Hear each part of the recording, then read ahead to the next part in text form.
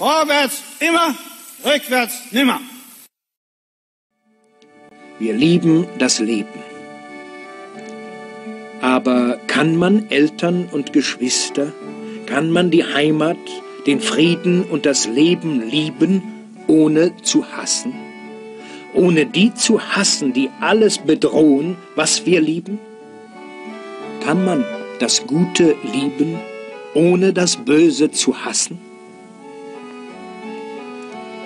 Politik verdirbt den Charakter, heißt es. Aber das ist falsch.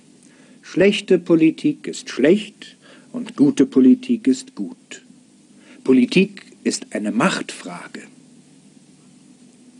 Ist die Macht in schlechten Händen, kann es nur eine schlechte Politik sein, gegen das Volk mit Ausbeutung, Unterdrückung und Krieg.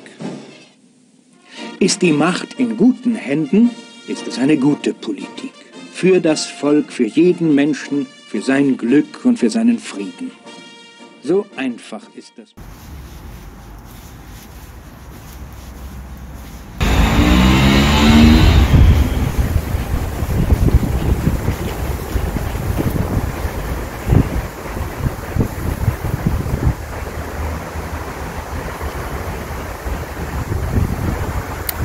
Die letzten Tage der Kommunisten sehe ich vor mir.